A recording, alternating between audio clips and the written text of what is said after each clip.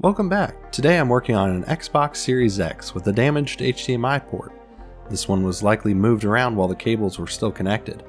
I'll show you how to disassemble the device and replace the HDMI port using a heat gun and soldering iron. The side of the HDMI port has been blown out, the pins are ripped and bent, and the tray itself is missing plastic. This one probably won't work, even at weird angles, and I wouldn't recommend trying. The console has two Torx screws that hold the rear panel in place. One is hidden under this rounded sticker at the very bottom.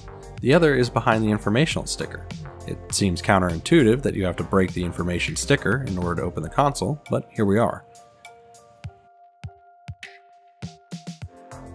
A thin pry tool can be slipped into the bottom of the back panel and lifted up to remove it.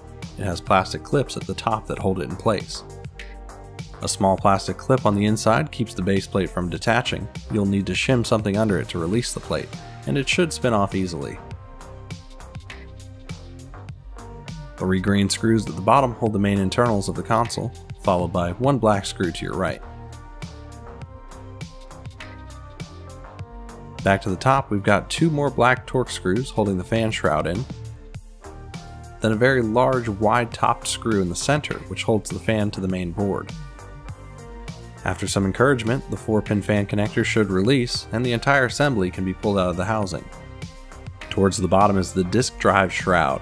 This keeps the vibrations down while your Call of Duty disc revolves around the central hub at speeds that a small Honda Civic can only dream of achieving. Just kidding, it's only a few thousand RPM. The disk drive has two connectors, one SATA cable and one power connector that both need to be removed. Then the drive can be pulled out of the housing. The main board has two data ribbons and latching connectors that need to be disconnected before we lift this gaming engine out.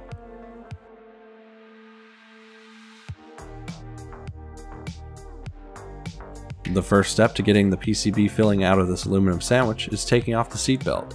This acts like a gasket for the main fan and forces air to only travel through the enormous heatsink fins.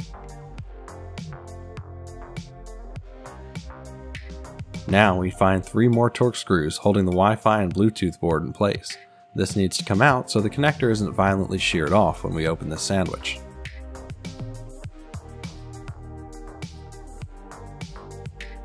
Up to what I'm going to be calling the top, the side with the power supply, we need to remove the three screws that hold the AC plug to the frame. Next, all the black screws below the power supply need to be removed. Additionally, all longer silver screws need to be removed. The power supply cable is routed in a clip that needs to be opened. The black screws that hold the power supply can be left where they are. Finally, the silver shield can be pulled away and set to the side.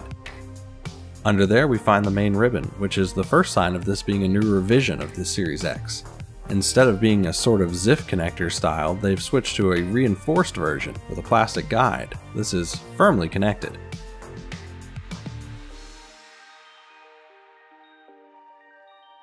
Now the entire top half of this aluminum sandwich can be pulled off and set to the side, revealing that sweet PCB filling on the inside. And take a look at that. Repair techs will really enjoy this revision when they find that the silly metal clip is now completely absent, though all the solder points are still tin. Four large screws hold this massive X-shaped tension bar against the board, forcing a very tight contact between the CPU and copper heatsink plate. Be careful removing the first two or three as they are under a fair amount of pressure. Now the main board can be removed from the heatsink, though it may still be a bit stuck thanks to a large amount of thermal transmissive Play-Doh underneath, as well as a pretty crunchy pile of thermal paste. First I'll flip the board over to the underside of the HDMI port and inject a few drops of flux. Then I'll use the soldering iron to melt some leaded solder into the feet of the port, which is currently filled with the factory standard unleaded solder. I do this because unleaded solder has a much higher melting temperature, and by mixing the two I can lower the overall melting point when I go to remove it. Next I'll take some nice yellow Kapton tape and cover this tiny component behind the HDMI port. I haven't had one fly away yet, but it's better to be safer than sorry. Some flux will be added to the pins. The last thing I want to do is rip some pads off the board and make more work for myself. With hot air flowing out of the nozzle at 450 degrees Celsius, this can still take a minute or so of heating. Microsoft has worked hard to make this board super efficient at spreading heat. Even the drilled holes in the ground lines are reminiscent of drilled brake rotors on a sports car. It's important to keep heat moving and not concentrate it in one spot to avoid damaging the layers of the PCB. Too much can cause thermal shock and cause the board to split internally. At that point, the repair is over, and not in a good way. Finally, with the soldering in a liquid state, the port can be pulled off the board. Using some soldering wick, I'll soak up all the old solder off the data pads. And this is where things can get fun. Removing the solder from the feet can be a real pain. Of course, you could leave it, just heat gun it until it melts and ram the port into the spot. Pressing the wick against it just isn't working. At this point, it's personal. Using a short length cut at a sharp angle, I'll heat gun the feet until they melt, and insert the wick directly into the hole. Perfect. Now I'll insert the replacement HDMI port into the open spot on the board, and cover the pins with some flux. There are a couple ways to do this. You could always add solder to the pads before putting the port in, then press the pins down to the pads and stick them together with the solder acting like glue. I prefer to press the pin down to the empty pad, then feed solder into it. This allows the solder to stick to the pad and completely envelop the pin, fusing them together very tightly, like wrapping a nice cozy metal blanket around the pin. I'll do this for each pin, one by one. Bridging is always a risk, but with wick nearby, I'm feeling pretty invincible. Using a pair of super pointy tweezers, I'll poke and push each pin to make sure it's fully seated to the board. Satisfied that everything is connected, I'll flip the board over and press my iron against the feet, then feed solder into the hole to secure it to the board. I'll usually use a bit more than necessary just to increase the strength of the port. The next issue at hand is this disgusting thermal paste from the factory. It is somehow already completely dry and crusty, and nowhere near as efficient as it could be. I'll vacuum the old chunks out of the way, then using some isopropyl alcohol, I'll clean the rest.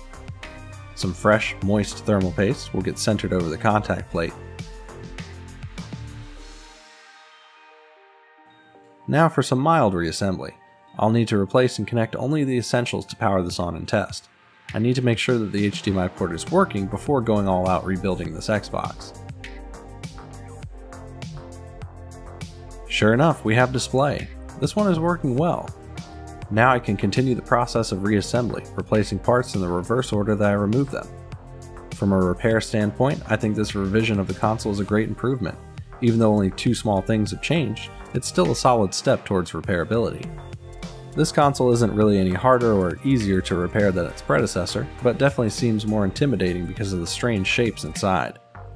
If you followed this as a guide and made it this far, I hope your repair went well.